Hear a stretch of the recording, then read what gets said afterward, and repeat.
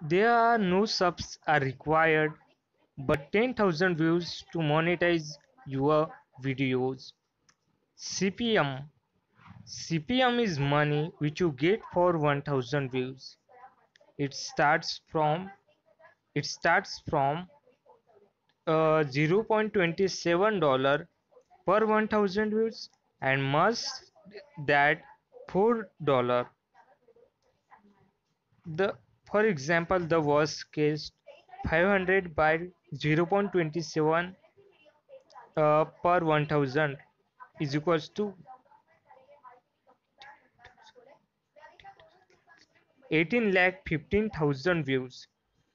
Best and for example best case 500 by 4 4 per 1000 is equals to 1 lakh 25000 views to get higher CPM, you have to make videos intended for intelligent people.